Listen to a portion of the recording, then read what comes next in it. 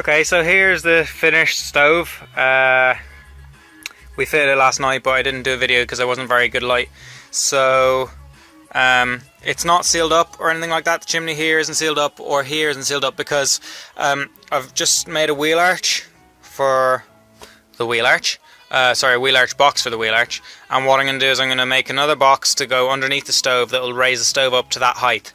And then what I'll need to do is trim off uh, foot or so off of the bottom piece of chimney pipe and um, slot it all back together and um, yeah so that's what this next video is going to be about me making a box for the chimney. But anyway this is what it looks like in place almost in its finished place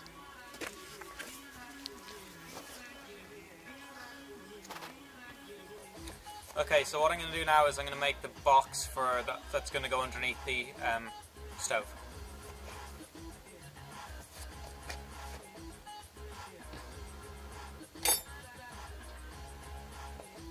Get all my wood ready.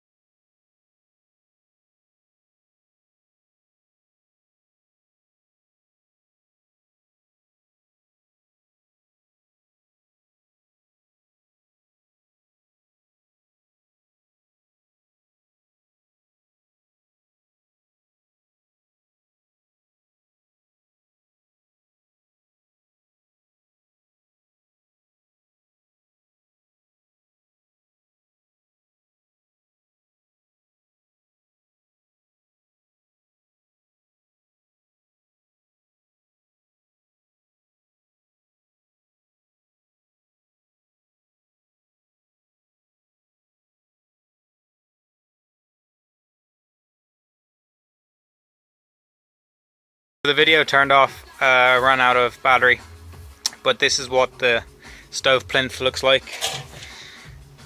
Um, just has to be fixed down, then I'm going to cover it with plywood and stuff. Um, so yeah, I'm going to just cover it up with plywood now, I think.